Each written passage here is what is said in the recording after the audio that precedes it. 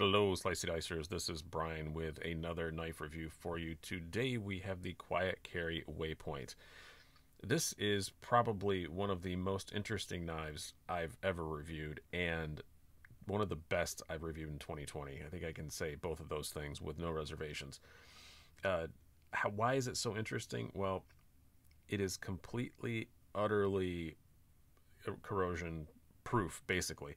Um, it, they did a really good job with that. Just every little detail you could possibly think of to make it that way. Similar to how they did in their Drift, uh, the the model that came out before this, but uh, they did it in a different way, which is uh, very cool and very interesting. Uh, the main thing that makes it corrosion resistant is the blade steel. It's Vanax. You don't see that hardly at all. It is like the new kind of mother of all steels. It is completely corrosion proof. And I mean, I had this in a salt bath for six hours just to try. I probably didn't have the salinity up as high as I should have. It wasn't quite ocean water. Uh, I, I, will do it again with actual kind of you know simulated ocean water. When I, I'm going to do a comparison between this and the SpydieChef, and I'm gonna I'm gonna salt them both to see how they do. I'm sure they're both going to be absolutely fine. Uh, but I had this in for six hours, nothing. Didn't do anything to it. Um, I, I, just wiped it off. Didn't leave a single mark. And the uh, edge retention is, according to Cedric and Ada, Pete over there in Australia, that does amazing, uh, amazing uh, cutting tests and all that kind of stuff. Uh, it's like a little better than M390, so you can't complain about that at all. And when you realize how great that steel is, it makes the price of this knife a bit more palatable. It is $295. It is not inexpensive, but that is not crazy at all for getting Vanax. Not bad at all, and especially all these other details. On the uh, Drift, they just made it a frame lock, which making a uh, corrosion proof, you know, titanium frame lock isn't that hard. Uh, but they made a liner lock. And you're probably thinking, oh, well, that's a stainless steel liner. That's going to be a problem. No, it isn't. It's LC200N, which is the blade steel the SpydieChef uses, um, which is completely pretty much corrosion proof. Uh, awesome that they did that. So cool just to integrate this little this you know this little liner lock in there i do like that whole lot it does make the knife look a lot better on the other side they match completely can't see it does use a wire clip. Uh, they also use uh, marine grade stainless steel screws everywhere, and it's running on phosphor bronze washers, ceramic detent ball, so it should be completely, utterly corrosion proof. And I'm excited to uh, to put it through its paces as far as that goes. Excited but nervous because I really like this knife, and it's 295 bucks. And just putting a knife in a bath of salt water really hurts your soul sometimes, but uh, this should handle it just fine. So I'm, I'm not really that much worried about it. Uh, I do like the overall look and design of it. I just think it's very clean and simple. Uh, you have a classic kind of that classic modified drop point blade, I guess called. They call it a drop slash clip point, which I guess is uh, is also pretty accurate. Um, and uh, just the usual, you know, quiet carry four holes, quiet carry on the blade, Van Vanax steel marking. That's it. Uh, pretty simple, clean design. I think it looks great. I really like this stonewash finish. I think it looks really good. It's almost got kind of a one of those uh, they call it like cracked ice sort of finishes is the way it comes out. I really like the look of that. It also comes in a bead blast and a PVD coated. And as I said, all three versions are available on the Quiet Carry website right now. So uh, go check those out pretty quickly. I heard they're going to be released in like waves. They were sold out over the weekend. Now, as of recording this on a Monday morning, they're back again. So just keep an eye out. And uh, if you want one though, I wouldn't sleep too long on it. But uh, it's not it is it's not a uh, flash run or anything, but they are fairly limited production. So uh, and usually quiet carries are anyway. I can't speak specifically for this one to know for sure, but make sure you uh, you grab one pretty quick if you do want one. Now uh, let's do some specs and some size comparisons before we go on too much farther about this. We have these are all half inch squares. You have an overall length of seven and a half inches, blade length of 3.3 inches. You have a blade thickness of just 0.09 ounces, very, very thin blade, and handle stock also very, very thin at 0.37 inches. And a weight of, with all this titanium and everything, still the weight is 2.78 ounces. So uh, still very, very light knife, very slim, very easy to carry. Now let's get to our size comparisons. We'll start out with our usuals. You have your Spyderco Paramilitary 2, and the Para 3. So you can see it's uh, about Para 3 length, but much slimmer. And next up, we'll bring out a slightly different Benchmade sandwich. We will do the Benchmade 940 because some aspects of this do really kind of remind me of the 940, just that slenderness of it. It's a little shorter than a 940. And your full-size Benchmade bug out. You can see it's just a just a hair longer than a bug out train line, those pivots up there. Just a hair longer than a bug out. Eh, almost exactly the same as bug out. It's really hard to tell. The the angles skew here a little bit. Yeah, about the same, maybe just a millimeter or two longer than a bug out. And two other really nice uh, titanium knives, and one that I've already mentioned. We'll just bring these out, and then we'll move on and talk more about it. We have your Chris Reeve large Sebenza 31, a little bit smaller than that, and the aforementioned Spyderco SpydieChef. Which, yeah, just based on their corrosion proofness, I'm going to be comparing these. But as you can see, this is a much, uh, much more slender, slightly smaller knife than the SpydieChef. But I still think that'll be a fun little battle to the death. I may even do some modified things because just that they both claim to be corrosion proof. So I want to I want to play with that a little bit. Now, as far as this knife all by its lonesome and, and what do I like about it? Well, first of all, the blade. The blade is just really, really nice. It was razor sharp out of the box. They did a great job with the sharpening on it.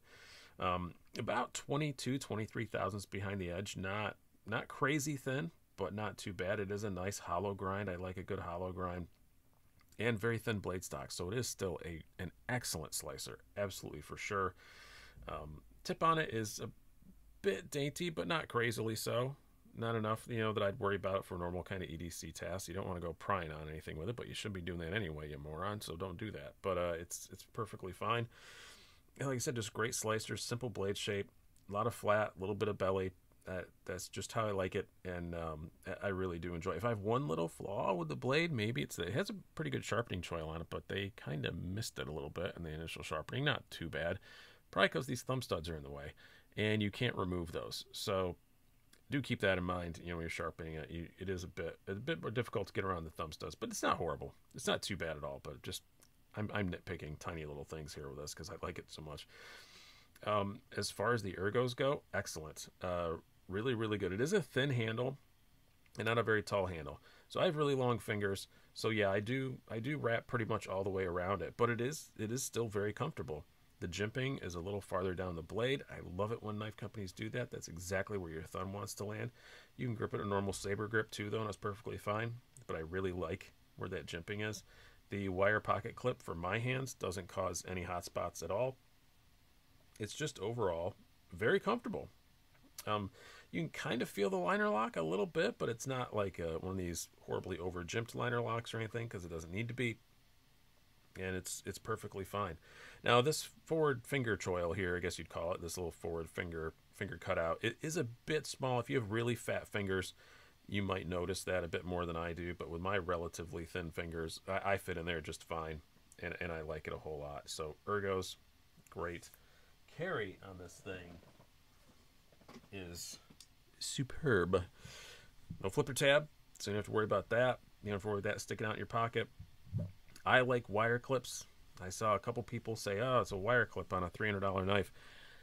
I don't care. It works, and I think the wire clips look good. Uh, I, I, I'm sometimes I don't like milled titanium clips. Often I don't like milled titanium clips. They're rarely deep carry like this, and some of them look cool, some of them look terrible. Simple wire clip, I think, is perfectly fine, especially in kind of the theme of this knife, keeping it light, simple, you know, EDC. I think that works great. It's super light. It's very, very thin in every dimension, so it's effortless to get your hand past. It really disappears in the pocket.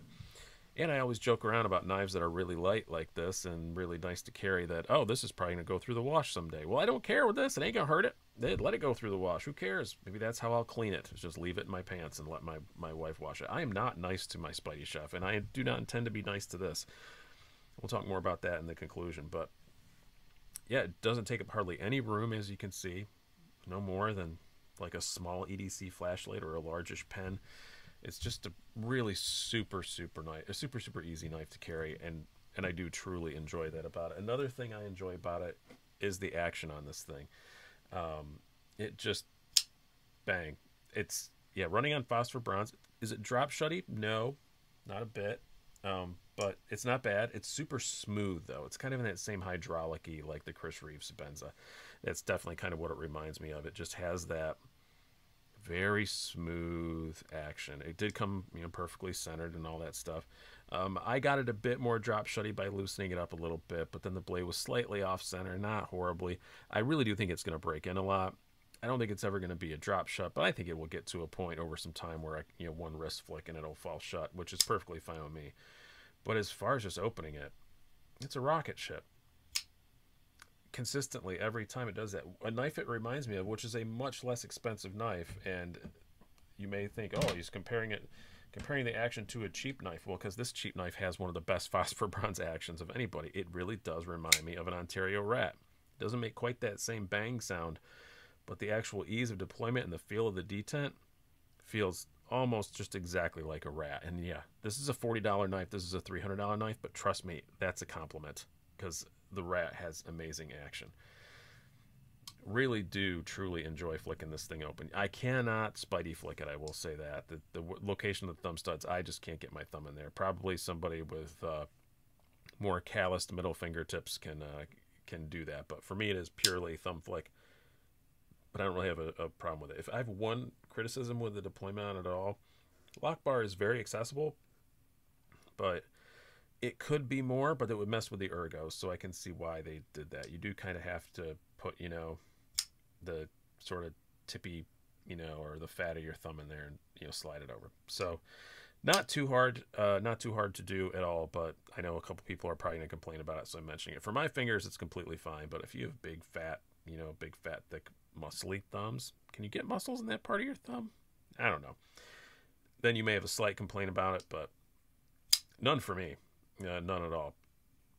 So obviously my conclusion on this is is that it is awesome. I'm I just applaud Quiet Carry for pushing this kind of forward because it is a bit different than what a lot of people do, and I just I love the design. Um, I understand why I guess they do the kind of quiet releases. Um, I don't think it's for marketing, to, you know, to, to put on their name, but they do a lot of other cool EDC stuff. And I've had the IQ before. I really loved it.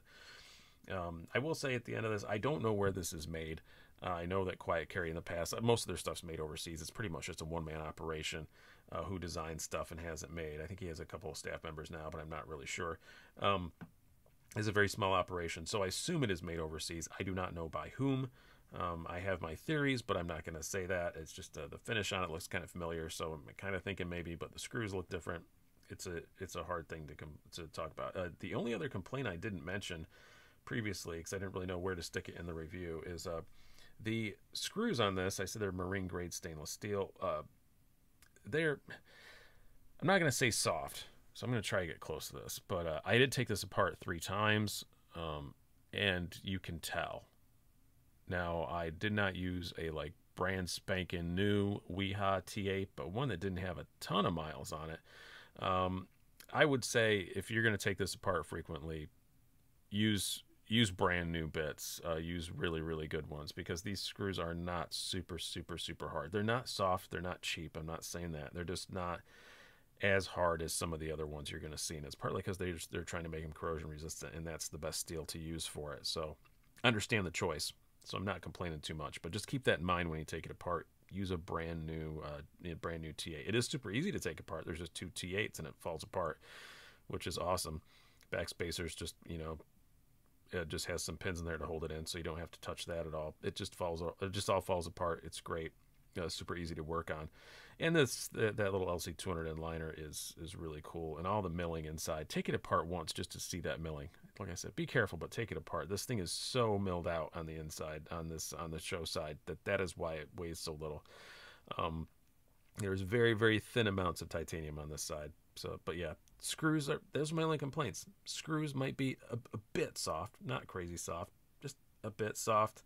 Uh, they kind of they kind of miss the sharpening choil just a little bit from the factory sharpening. And if you have big, thick, meaty thumbs, you may wish for a little bit more lock bar access. But other than that, this thing is out freaking standing. Um, it's uh, the materials used, and not just the materials used, the way they used them is extremely impressive. And it's a nice looking thing. It's a nice thing to carry. It cuts well. It's amazing steel. Yeah. That's that's my conclusion. It's just me clapping. I've run out of words to say now. I'm down to hand gestures. So uh, thank you guys for watching. I've been Brian. Have a good one. Stay safe. Wash your damn hands.